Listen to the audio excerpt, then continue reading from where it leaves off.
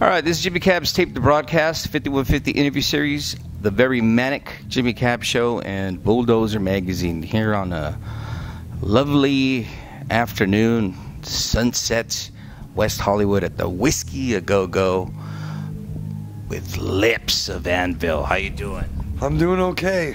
Welcome back to California. Welcome back to Los Angeles. Thank you. Let's start off right off the bat. Anvil, 1978, one of the premier metal bands that ahead of its time. You've had so many established musicians from members of Metallica, Slayer, on and on and on, who credit you for the inspiration, who credit. Lots of un, un, un, unfamous people too. they credit you for. In fact, more of those than than the famous guys. My question to you is: It's here we are, what, 38, 39 years later. Yeah. How are you doing this? How is it possible? How do you keep the stamina, the fire, and the drive to keep doing this? Uh, I what what else would I do? That's who, and what I am. I find it actually dumbfounding how people ask me that. Would you like me to elaborate a little more? Well, what I mean is that do, do people ask their doctor how do they manage or or or their tailor or their dentist or their or their uh, or their marriage? But you ask how do I manage being married for 30 years? The, how, did my, how did my parents manage to do it for 60 years? Lawyers, doctors, and so forth, they are compensated with the rewards of that. Oh, you mean the road, money. the road. In other words, money. The road, the road takes a lot out of us. The energy it takes physically, and let's just be very frank here it takes a certain individual that can do this for so many decades and not be crushed by the road. How do you do that? How do you maintain that? So I many. Drink. I don't drink booze. It's that simple. You don't drink booze, you don't get fucking burned out. How about that? That's a very, uh, very wise, very uh, what I would it's say. Not, it's not a question of wisdom. It's not wisdom. It's just a fact of life. Really, I mean, you you drink, and everybody knows what happens to you when you drink. It damages all your major organs. What do you think happens? Burns your brain out. I mean, you know, people talk about, hey man, you shouldn't smoke marijuana. You know what? If you replaced marijuana with all the people that drink, we would probably all live a lot longer and we'd have a much more peaceful place to live. I would agree with you on that. Do you find it interesting that in this day and age, now where we're at, marijuana no longer has that stamina and all that taboo that was back when we were growing up, now it's finally the truth is resurfacing amongst not only the youth, but the older generation? That's a, that's that's a hard question to answer. Obviously, things are moving in a positive, a much more positive direction today. Um, I mean, Canada's like a year or two off of legalizing it. It should have been done decades ago. Yeah. It should never have been illegal to begin with. That's that's a whole other issue. um, yeah, I think it's really positive thing. One of the things that I've always respected about Anvil throughout the decades is the fact that you've stayed consistent, that you stayed what I would say steadfast with the determination to keep producing music, getting on the road. Because you, I didn't do it for money. Elaborate a little more. I don't do it for money. What is it that you enjoy when you do this? Playing. Do you enjoy the music. kids that are out there? Music, creating music, and recreating it when I go play live and playing in front of an, all, an audience. Nothing is more fulfilling if I make a living at it, that's all I need. If I'm making my living, and that's what I've actually attained. When the movie after the after the movie and all that stuff, of course, it's all dissipated now. It's obviously not a fresh new thing. Right. We're nine years after the fact. You know, uh, uh, it's so it's it's certainly it certainly changed everything, but I haven't had to go back to do deliveries for Choice Children's Catering. I haven't been there in, in nine years. But would and you? I've been doing anvil onlys, but I'm making a living. I am not a millionaire. I will never become a millionaire from it, and nor do I want to. I will never. I, my my intentions were from from the time I was a kid was to make the heaviest music I could possibly make for as long as I possibly could, physically and mentally as a human being, and never sell out ever. From day one, you made from day fucking one.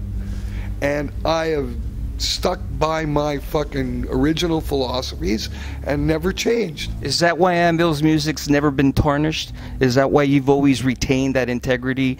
And is that why even whether it's the older fan base or the newer fan base, you still get that angst and that grip when you hear new Anvil or what they would say the uh, earlier there's, catalog? there- there's no there you can hear that there's no intention of looking for radio play some people find that um, find that really detrimental they think that we're fools and that we wasted our lives and our time Really? Yes.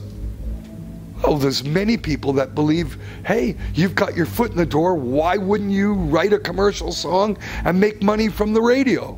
It's not in your heart, man. You're doing it for real. Oh no, it's not a. It's it's.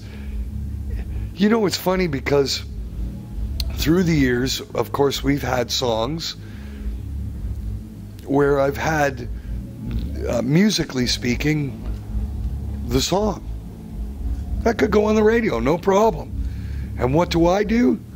I apply the lyrics, lyrics that will never get radio play. so what you get is somewhat anthematic, um, catchy songs that were either filthy and completely inappropriate, Rock and roll, right? right? And they would never play it on the radio, but for the kids who buy the records, they love those songs and they become our classics. Yeah. Songs like Butter-Bust Jerky, um, Mad Dog, for that matter. I mean, that was probably one prime example, or or the song Backwaxed, that was originally recorded for the, the Forged in Fire album, and I pulled it off.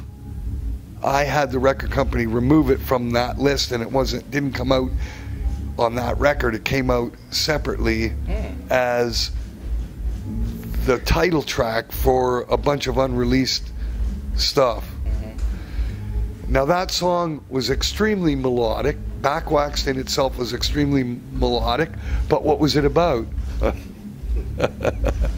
so it was not. It was never going to get radio play. Um, obviously, the song "Mad Dog," looking for a bitch in heat, begging for a doggy treat, was not going to get radio play.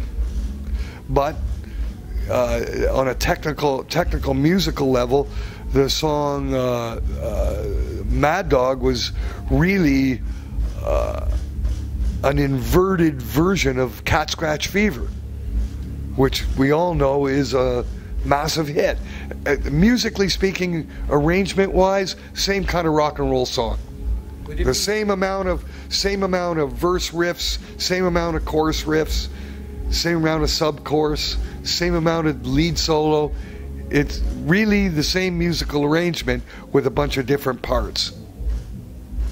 Do you think that is the reason why, till this day, 2016, there's a bunch of young kids out there excited to see you tonight because you still have that subversive, rebellious, real, genuine rock and roll attitude compared to compared to I think it's more about genuine. right. It's more about the genuine thing that and unpretentious. It's not it was not done for the purpose. Look at um Would it be safe to say that an Anvil show, an Anvil show, an Anvil show is a real show? What I mean by that, let me elaborate. You're up on stage, enjoying what you're doing. Number one, playing heavy, and at the same time, giving off a show and the energy that is not fabricated. It's real. Well, it's a real thing. yeah. Oh yeah. That's very rare this day. You know, I don't. I live in a bubble. I I pay very little attention to what goes on out, outside my own little world. So if if that's what you're telling me, that when you go see other bands and they're not passionate or there doesn't seem to be authentic, I guess I have to believe you because I don't do a lot of show going. Right. And when I do, it's usually it's usually old school. It's old school stuff. Uh, I'll go, uh, you know, obviously um, some of the festivals that we do play.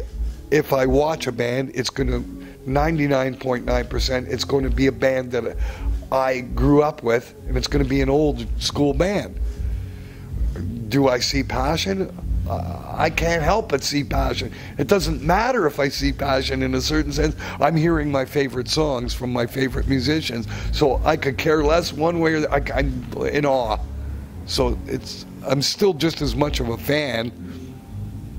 So I, I don't I don't know that's but I don't really take notice of of that maybe the way that everybody else does, but I don't watch a lot of bands, you know. I just like I like the old school bands. I mean, obviously, uh, you know, like watching Deep Purple when we were in Sweden a couple of years ago was fucking mind mind numbing. With Gillan? Yeah, with Ian Gillan, of course. All right. To this day, the way he has that capacity. Oh yeah, fuck it, and it's all there, man. It's it's like wow, this is is you know okay they've replaced Blackmore, and let's face it, the guitarist that they have, uh, Steve is uh, is fucking amazing, really. I mean, he plays worlds above what Blackmore did originally, in my opinion. I mean, come on, man, it's modernized, technical. Absolutely. You know, it's not uh, foundational like Blackmore was in discovering the stuff. There's a big difference in in, in the person that discovers it and the other person who's perfected it. Right. And I think that that's what I hear is as the main difference. So, yeah, you're hearing Blackmore-esque solos, but played with s- such fluidity. Blackmore, in, in, in his wet dreams, couldn't do it. you know. um,